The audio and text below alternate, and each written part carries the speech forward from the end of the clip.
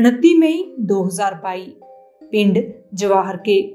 ਇਹ ਤਰੀਕ ਤੇ ਪਿੰਡ ਕਿਸੇ ਨੂੰ ਨਹੀਂ ਭੁੱਲਦਾ। ਇਹ ਦਿਨ ਪੰਜਾਬ ਲਈ ਇੱਕ ਕਾਲਾ ਦਿਨ ਸੀ। ਇਸ ਦਿਨ ਕੁਝ ਗੈਂਗਸਟਰਾਂ ਵੱਲੋਂ ਪੰਜਾਬ ਦੇ ਉੱਭਰਦੇ ਗਾਇਕ ਤੇ ਗੀਤਕਾਰ ਸਿੱਧੂ ਮੂਸੇਵਾਲਾ ਦੀ ਗੋਲੀਆਂ ਮਾਰ ਕੇ ਦਿਨ ਦਿਹਾੜੇ ਹੱਤਿਆ ਕਰ ਦਿੱਤੀ ਜਾਂਦੀ ਹੈ। ਇਸ ਘਟਨਾ ਨੂੰ ਲਗਭਗ 2 ਸਾਲ ਤੋਂ ਉੱਪਰ ਦਾ ਸਮਾਂ ਹੋ ਗਿਆ ਹੈ ਤੇ ਸਿੱਧੂ ਦੇ ਮਾਪਿਓ ਅੱਜ ਵੀ ਇਨਸਾਫ ਲਈ ਕੋਰਟ ਕਚਹਿਰੀਆਂ ਦੇ ਧੱਕੇ ਖਾ ਰਹੇ ਨੇ ਤੇ ਮਾਪਿਆਂ ਲਈ ਇੱਕ ਉਮੀਦ ਦੀ ਕਿਰਨ ਸੀ ਸਿੱਧੂ ਦੇ ਦੋਸਤ ਜੋ ਉਸ ਘਟਨਾ ਵਿੱਚ ਮੌਜੂਦ ਸਨ ਕਿ ਉਹ ਉਹਨਾਂ ਦੇ ਗਵਾਹ ਬਣ ਸਕਦੇ ਨੇ ਤੇ ਸਿੱਧੂ ਨੂੰ ਇਨਸਾਫ ਦਿਵਾਉਣ ਲਈ ਮਦਦ ਕਰਨਗੇ। ਮਾਨਸਾ ਦੀ ਅਦਾਲਤ ਵਿੱਚ ਅੱਜ ਸਿੱਧੂ ਮੂਸੇਵਾਲਾ ਕਤਲ ਕੇਸ ਦੀ ਸੁਣਵਾਈ ਦੀ ਤਰੀਕ ਤੈਅ ਹੋ ਗਈ ਹੈ। ਅਦਾਲਤ ਵਿੱਚ ਗਵਾਹ ਨਾ ਹੋਣ ਕਾਰਨ ਅਦਾਲਤ ਵੱਲੋਂ ਅਗਲੀ ਪੇਸ਼ੀ 26 ਜੁਲਾਈ 2024 ਨਿਰਧਾਰਿਤ ਕੀਤੀ ਗਈ ਹੈ। ਜ਼ਿਲ੍ਹਾ ਅਦਾਲਤ ਨੇ ਸਿੱਧੂ ਮੂਸੇਵਾਲਾ ਦੇ ਪਿਤਾ ਬਲਕੌਰ ਸਿੰਘ ਨੂੰ ਅਗਲੀ ਤਰੀਕ ਉੱਤੇ ਗਵਾਹ ਵਜੋਂ ਪੇਸ਼ ਹੋਣ ਦੇ ਹੁਕਮ ਦਿੱਤੇ ਨੇ। ਦੱਸ ਦਈਏ ਕਿ ਮਾਨਸਾ ਦੀ ਅਦਾਲਤ ਨੇ 27 ਮੁਲਜ਼ਮਾਂ ਖਿਲਾਫ ਦੋਸ਼ ਆਇਦ ਕਰ ਦਿੱਤੇ ਸਨ। ਅੱਜ ਦੋ ਗਵਾਹਾਂ, ਗੁਰਵਿੰਦਰ ਸਿੰਘ ਅਤੇ ਗੁਰਪ੍ਰੀਤ ਸਿੰਘ ਨੇ ਪੇਸ਼ ਹੋਣਾ ਸੀ, ਪਰ ਉਹ ਕਿਸੇ ਕਾਰਨ ਅਦਾਲਤ 'ਚ ਪੇਸ਼ ਨਹੀਂ ਹੋ ਸਕੇ। ਇਸ ਮਾਮਲੇ 'ਚ ਅਦਾਲਤ ਨੇ ਅਗਲੀ ਤਾਰੀਖ 26 ਜੁਲਾਈ 2024 ਤੈਅ ਕੀਤੀ ਹੈ। ਜ਼ਿਲ੍ਹਾ ਅਦਾਲਤ ਨੇ ਸਿੱਧੂ ਮੂਸੇਵਾਲਾ ਦੇ ਪਿਤਾ ਬਲਕੌਰ ਸਿੰਘ ਨੂੰ ਅਗਲੀ ਤਾਰੀਖ ਉੱਤੇ ਗਵਾਹ ਵਜੋਂ ਪੇਸ਼ ਹੋਣ ਦੇ ਹੁਕਮ ਦਿੱਤੇ ਨੇ। ਜ਼ਿਕਰਯੋਗ ਹੈ ਕਿ ਸ਼ੁਭਦੀਪ ਸਿੰਘ ਉਰਫ ਸਿੱਧੂ ਮੂਸੇਵਾਲਾ 29 ਮਈ 2024 ਦੀ ਸ਼ਾਮ ਨੂੰ ਮਾਨਸਾ ਦੇ ਪਿੰਡ ਜਵਾਹਰ ਕੇ ਵਿਖੇ ਸ਼ਰੇਆਮ ਗੋਲੀਆਂ ਮਾਰ ਕੇ ਕਤਲ ਕਰ ਦਿੱਤਾ ਗਿਆ ਸੀ। ਸਿੱਧੂ ਮੂਸੇਵਾਲਾ ਦੇ ਮਾਪੇ ਅੱਜ ਵੀ ਆਪਣੇ ਪੁੱਤਰ ਲਈ ਇਨਸਾਫ ਦੀ ਲੜਾਈ ਲੜ ਰਹੇ ਨੇ। ਜ਼ਿਕਰਯੋਗ ਹੈ ਕਿ ਅੱਜ ਵੀ ਜਦੋਂ ਸਿੱਧੂ ਦਾ ਕੋਈ ਰਿਕਾਰਡ ਕੀਤਾ ਹੋਇਆ ਗਾਣਾ ਸੋਸ਼ਲ ਮੀਡੀਆ ਉੱਪਰ ਆਂਦਾ ਹੈ ਤਾਂ ਉਹ ਤੁਰੰਤ ਸੋਸ਼ਲ ਮੀਡੀਆ ਉੱਪਰ ਟ੍ਰੈਂਡ ਕਰਨ ਲੱਗ ਜਾਂਦਾ ਹੈ। ਤੁਹਾਨੂੰ ਦੱਸ ਦਈਏ ਕਿ ਸਿੱਧੂ ਮੂਸੇਵਾਲਾ ਨੂੰ ਇਨਸਾਫ ਦਿਵਾਉਣ ਲਈ ਲੋਕ ਸਭਾ ਦੇ ਸਾਂਸਦ ਅਮਰਿੰਦਰ ਸਿੰਘ ਰਾਜਾ ਵੜਿੰਗ ਨੇ ਪਰੀ ਸੰਸਦ ਵਿੱਚ ਸਿੱਧੂ ਮੂਸੇਵਾਲਾ ਲਈ ਆਵਾਜ਼ ਉਠਾਈ ਸੀ सभापति साहब हमारा एक साथी था उसका नाम था सिद्धू मूसेवाला एक कलाकार था दुनिया में उसका नाम था चाहे तमिलनाडु हो चाहे महाराष्ट्र हो चाहे केरला हो चाहे न्यूयॉर्क हो उसके गाने पर दुनिया झूम उठती थी। और मैं यह भी कहना चाहता हूँ, सभापति साहब टाइम स्क्वायर न्यूयॉर्क में हर तीसरे दिन सिद्धू मूसेवाला बजता है। बिलबोर्ड जो बिलबोर्ड दुनिया के सौ गाने, उनमें से सिद्धू मूसेवाला हर रोज पहले, दूसरे, तीसरे नंबर पे वो व्यक्ति रहता है। उसके साथ हुआ क्या? मैं आज इस सदन को जानकारी और बताना चाहता हूँ आपके माध्यम से। क्या हुआ? 28 साल के नौजवान के साथ। हम नेशनल सिक्योरिटी की बात करते हैं। आप कहते हैं हिंदुस्तान में परिंदा भी पर नहीं मार सकता। आप ये कहते हैं कि हम हैं चिंता मत कीजिए। लेकिन क्या हुआ नौजवान 28 साल के नौजवान को गोलियों से मार मार कर दस गोलियाँ मारकर दिन दिहाड़े मार दिया गया। और मारा किसने? सभापति साहब बहुत से लोग मारे जाते हैं। मारा किसने? एक तिहाड़ जेल में बैठा एक गैंगस्टर जिसका नाम लॉरेंस बिश्नोई है उसने मारकर कहा जेल से इंटरव्यू दिया। और कहा मैंने मारा है। मैंने मारा है। अभी तो सिद्धू मूसे वाला मारा है। अभी इसके बाप को भी मरना होगा। जेल से इंटरव्यू दिया। आप नेशनल सिक्योरिटी की बात करते हैं। कब इंसाफ मिलेगा? सिद्धू मूसे वाला को। क्या होगा?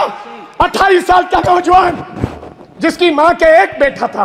एक और बिना शादी के शादी के ब्याह में हमारे सर पर सेरे बांधे जाते हैं, सेराबंदी होती है, आपके भी होती है। डेड बॉडी पड़ी सी डेड बॉडी पर मेरी उस माँ ने, सिद्धू मूसे वाले की माँ ने फिर सेरा लेकर आए और अपने बेटे के लाश पर सर पर सेरा बाँध के उसकी वधाई दी है। ये हालात हैं। आप देश के गृह मंत्री हैं, इंसाफ दिलाएँ। और जेलों में बैठे ऐसे गैंगस्टर को आप निकाल के उस परिवार को इंसाफ दें। लास्ट बात सर एक मिनट में खत्म करूँगा। आप सभापति साहब मैं ये इसमें लिखा है page number four. Page number four point number five क्या लिखा है? Now my government is striving to make in make India the third largest economy in the world कैसे बनेगा साहब मैं मैं सब उस शहर से आता हूँ, लुधियाना से, जो हिंदुस्तान का कभी कभी ईस्ट मैनचेस्टर कहा जाता है जिसको। आज क्या हालात हो गए इंडस्ट्री के? डाइंग इंडस्ट्री है सर वहाँ पर साइकिल इंडस्ट्री है। लोग छोड़ छोड़ के कारोबार धंधा बंद करके अब चले जा रहे हैं लुधियाना छोड़ के। ये हालात कर दिए। मैं एक छोटी सी उदाहरण देना चाहता हूँ। दस साल में दस साल में। हमें इस सरकार ने कुछ नहीं दिया। अगर दिया है हिंदुस्तान की सरकार ने लुधियाना को, सबसे बड़ा शहर है पंजाब का तो कोई खड़ा होकर व्यक्ति बता दे कि हमने ये दिया है। मैं क्या कहना चाहता हूँ कि एक साइकिल इंडस्ट्री है साहब, या तो चाइना में साइकिल बनता है, या पंजाब में साइकिल बनता है। चाइना में साइकिल की प्रोडक्शन क्या है? आप हैरान हो जाओगे। आप मेक इन इंडिया की बात करते हो। अठाईस से तीस करोड़ एक साल की चाइना प्रोडक्शन करता है। एक साल की, ढाई से तीस करोड़।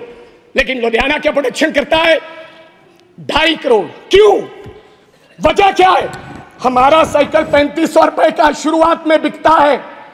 लेकिन चाइना का साइकिल 300 डॉलर से शुरू होकर दो लाख में बिकता है। इसका कारण क्या है? Make in India, make in India wrong policies जब तक ये रॉन्ग पॉलिसीज़ है समाप्त कीजिए तब तक- समाप्त कीजिए। तब तक हमारा देश तरक्की नहीं कर सकता। कैसे तरक्की करेंगे? आपकी रॉन्ग पॉलिसीज़ की वजह से आज हमारी इंडस्ट्री जो लुधियाना की इंडस्ट्री है उसके ये हालात हो गए। अंत में एक लाइन में समाप्त करना चाहता हूँ। हमारा भाईचारा बहुत कायम है स्पीकर साहब। पंजाब के लोग बेशक चाहे किसी पार्टी को वोट दो आम आदमी पार्टी को लोगों ने वोट दिया। अकाली दल को दिया कांग्रेस को दिया बीजेपी वालों को भी दिया। लेकिन लेकिन आपस का भाईचारा नहीं कभी टूटा।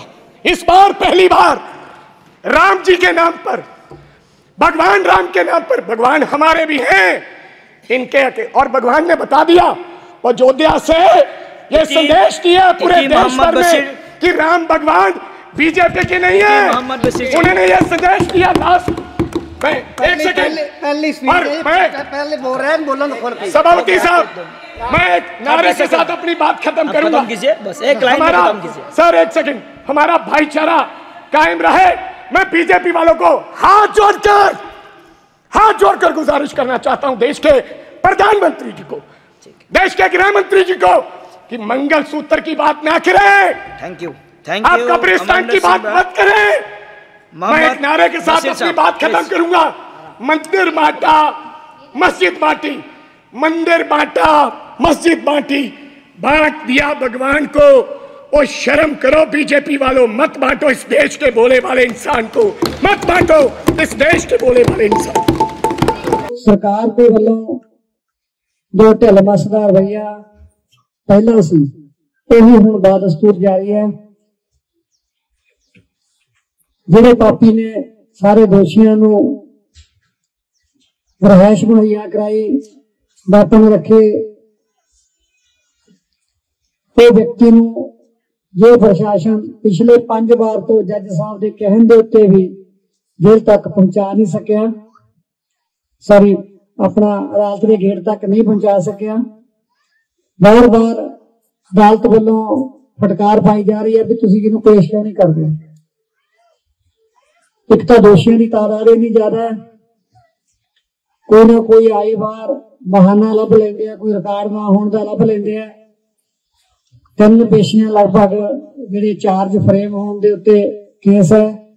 ਪਰੰਤੂ ਆਈ ਵਾਰ ਕੋਈ ਨਾ ਕੋਈ ਕਾਨੂੰਨੀ ਨੁਕਤਾ ਲੱਭ ਲੈਂਦੇ ਨੇ, ਮੇਰੇ ਕੋਲ ਰਿਕਾਰਡ ਹੈ ਨਹੀਂ, ਮੇਰੇ ਕੋਲ ਕੁਛ ਹੈ ਨਹੀਂ। ਪਰੰਤੂ ਜੱਜ ਸਾਹਿਬ ਦਾ ਨਜ਼ਰੀਆ ਬਹੁਤ ਸਖਤ ਹੈ। ਤਾਂ ਐਤਕੀ ਉਮੀਦ ਕਰਦਾ ਵੀ ਸ਼ਾਇਦ ਕੇਸ ਚਾਰਜ ਫਰੇਮ ਹੋ ਜਾਵੇ।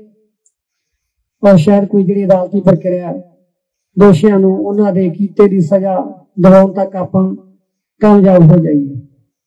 ਐਦਾਂ ਦੇ ਅਮੀਰ ਭਾਈ ਦੀ ਹੈ। ਉਹ ਵੀ ਉਹਨਾਂ ਦੇ ਉੱਤੇ ਜਿਹੜੇ ਕੱਲੇ ਸ਼ੂਟਰ ਸ਼ੂਟਰ ਨੇ। ਕਨਸਪੀਰੇਟਰ ਜਿਹੜੇ ਸਾਰੇ ਨੇ ਸਾਜ਼ਿਸ਼ ਘਾੜੇ ਨੇ, ਉਹ ਹਾਲੇ ਫਿਲਹਾਲ ਵੀ ਇਨਵੈਸਟੀਗੇਸ਼ਨ ਦੇ ਘੇਰੇ ਤੋਂ ਦੂਰ ਨੇ। ਪਰ ਆਪਾਂ ਬਾਰ-ਬਾਰ ਪੁਲਿਸ ਪ੍ਰਸ਼ਾਸਨ ਦੇ ਧਿਆਨ ਚ ਲਿਆ ਰਹੇ ਹਾਂ। ਤੇ ਉਧਰੋਂ ਵੀ ਭਰੋਸਾ ਮਿਲਦਾ ਵੀ ਕਰਾਂਗੇ ਤਾਂ ਇਹ ਗੱਲ ਤੁਹਾਨੂੰ ਦੱਸਣੀ ਲਾਜ਼ਮੀ ਇਸ ਕਰਕੇ ਸੀ ਕਿਉਂਕਿ ਤੁਸੀਂ ਦੂਰ ਦਰਾਡੇ ਤੋਂ ਆਉਂਦੇ ਹੋ, ਹਰੇਕ ਦੇ ਮਨ ਦੇ ਵਿੱਚ ਸਵਾਲ ਹੁੰਦਾ ਹੈ, ਗੱਲ ਕਿੱਥੇ ਖੜੀ ਹੈ, ਕੀ ਹੋਣ ਵਾਲਾ ਹੈ, ਕੀ ਨਹੀਂ ਹੋਣਾ ਬਾਕੀ ਲਾ ਐਂਡ ਆਰਡਰ ਦੀ ਆਪਾਂ ਗੱਲ ਕਰਦੇ ਹਾਂ। ਬੇਹੱਦ ਮਾੜਾ ਹੈ। ਉਹਦਾ ਹਰੇਕ ਨੌਜਵਾਨ ਆਪਣੇ ਆਪ ਨੂੰ ਬਦਮਾਸ਼ ਕਹਾਉਣ ਦੇ ਵਿੱਚ ਪ੍ਰਾਊਡ ਫੀਲ ਕਰਦਾ, ਪਤਾ ਨਹੀਂ ਕਿਉਂ, ਇਸ ਤਰ੍ਹਾਂ ਦੀ ਮਾਨਸਿਕਤਾ ਕਿਉਂ ਹੋ ਰਹੀ ਹੈ। ਆਏ ਦਿਨ ਕਿਸੇ ਨਾ ਕਿਸੇ ਜੇਲ੍ਹ ਦੇ ਵਿੱਚੋਂ ਵੀਡੀਓ ਪੈਂਦੀ ਹੈ।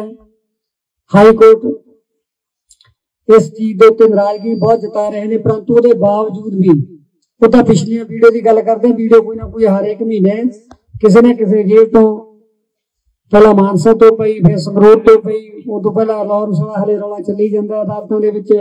ਤੇ ਹੁਣ ਆ ਪਰਸੋਂ ਚੌਥੇ ਫਰੀਦਕੋਟ ਤੋਂ ਵੀ ਆ ਗਿਆ ਮੈਂ ਭਗਵੰਤ ਮਾਨ, ਸੀਐਮ ਸਾਹਿਬ ਨੇ ਸਾਡੇ, ਉਹਨਾਂ ਦੇ ਧਿਆਨ 'ਚ ਪਤਾ ਨਹੀਂ ਹੈਗਾ ਕਿ ਨਹੀਂ ਹੈਗਾ, ਪਤਾ ਨਹੀਂ ਰੱਬ ਜਾਣਦਾ ਉਹਨਾਂ ਦਾ ਧਿਆਨ ਹੈ ਕਿੱਥੇ।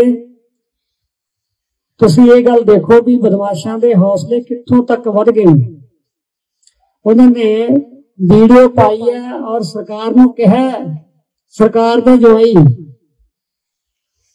ਹੁਣ ਤੁਸੀਂ ਦੇਖ ਲਓ ਅੱਗੇ ਆਪਾਂ ਕੋਈ ਧੀ ਭੈਣ ਦੀ ਗਾਲ ਦਿੰਦਾ ਨਾ, ਇਸ ਇਹਨਾਂ ਗੱਲਾਂ ਤੇ ਕਤਲ ਹੋ ਜਾਂਦੇ ਹੁੰਦੇ। ਹੁਣ ਸਰਕਾਰ ਦੀ ਮਾਨਸਿਕਤਾ ਇੰਨੀ ਢਿੱਲੀ ਹੋ ਗਈ ਹੈ, ਉਹਨੂੰ ਕੋਈ ਜਵਾਈ ਵਰਗਾ ਸ਼ਬਦ ਵੀ ਵਰਤਦਾ ਭਗਵੰਤ ਮਾਨ ਸਾਹਿਬ ਨੇ ਜਿਹੜੇ ਉਹ ਸਾਡੇ ਜੇਲ੍ਹ ਮੰਤਰੀ ਵੀ ਨੇ, ਤੇ ਸਾਡੇ ਮਾਨਯੋਗ ਮੁੱਖ ਮੰਤਰੀ ਵੀ ਨੇ, ਤਾਂ ਕੈਪਸ਼ਨ ਦੇ ਵਿੱਚ ਲਿਖਿਆ ਹੋਇਆ ਪੜ੍ਹ ਲੈਣ। ਸਰਕਾਰ ਲਈ ਬੜਾ ਸਨਮਾਨਯੋਗ ਸ਼ਬਦ ਲਿਖਿਆ ਉਹਨਾਂ ਨੇ। ਸਰਕਾਰ ਦੇ ਜਵਾਈ ਲਿਖਣੀ ਹੈ। ਜੋ ਜੇਲਾਂ ਤੁਸੀਂ ਉਹਨਾਂ ਦੇ ਵਾਸਤੇ ਸਵਰਗ ਬਣਾਤੀਆਂ ਉਹਨਾਂ ਨੂੰ ਤੁਸੀਂ ਸਾਰਿਆਂ ਨੂੰ ਸਮਾਰਟਫੋਨ ਪਹੁੰਚਾਤੇ ਅੰਦਰੋਂ ਬੈਠੇ ਕਰੋੜਾਂ ਦਾ ਕਾਰੋਬਾਰ ਕਰ ਰਹੇ ਹੈ ਫਿਰ ਤੁਹਾਡੇ ਹਰੇ ਪੈਨ ਦੀ ਲੋੜ ਨਹੀਂ ਰਹੇਗੀ ਮੇਰਾ ਖਿਆਲ। ਹੈ ਉਹ ਤਾਂ ਜਿਹੜਾ ਕੋਈ ਇਮਾਨਦਾਰੀ ਨਾਲ ਦੁਕਾਨਦਾਰੀ ਕਰਦਾ, ਕੋਈ ਆਪਦਾ ਕਾਰੋਬਾਰ ਕਰਦਾ, ਇਹਨਾਂ ਦਾ ਗਲਾ ਘੁੱਟ ਕੇ ਪੈਸੇ ਬਹੁਤ ਕਮਾ ਲੈਣਗੇ। ਹੁਣ ਤੁਸੀਂ ਆਪ ਹੀ ਵੇਖ ਲਓ, ਅਸੀਂ ਕਿੰਨੇ ਕੁ ਸੁਰੱਖਿਅਤ ਹਾਂ। ਜੇਕਰ ਕਿਸੇ ਜੇਲ੍ਹ ਦੇ ਅੰਦਰ ਬੰਦ ਕੀਤਾ ਹੋਇਆ ਕੈਦੀ ਇੰਨੀ ਹਿੰਮਤ ਰੱਖਦਾ ਹੈ, ਉਹ ਸਰਕਾਰ ਨੂੰ ਇੱਕ ਏਡੀ ਵੱਡੀ ਗਾਲ ਦੇ ਸਕਦਾ ਹੈ ਤੇ ਖਾਸ ਕਰਕੇ ਜਿਹੜਾ ਬੰਦਾ ਉਹਨਾਂ ਦੇ ਡਿਪਾਰਟਮੈਂਟ ਨਾਲ ਸੰਬੰਧਿਤ ਹੋਵੇ, ਜੇਲ੍ਹ ਮੰਤਰੀ ਹੋਵੇ ਤੇ ਸੂਬੇ ਦਾ ਮੁੱਖ ਮੰਤਰੀ ਹੋਵੇ, ਤਾਂ ਫਿਰ ਤੂੰ ਮੈਂ ਦੀ ਆਪਣੀ ਕੀ ਹੈ ਆਪਾਂ ਤਾਂ ਫਿਰ ਇਹਨਾਂ ਦੇ ਰਹਿਮੋ ਕਰਮ ਤੇ ਆ। ਜਿੰਨਾ ਜਿਹੜੇ ਰੱਖ ਲੈਣਗੇ ਉਹਨਾਂ ਚਿਰ ਸਾਹ ਲਈ ਜਾਵਾਂਗੇ, ਜਿੱਦਾਂ ਇਹਨਾਂ ਦਾ ਜੀ ਕਰਿਆ ਗੋਲੀ ਮਰਵਾ ਦੇਣਗੇ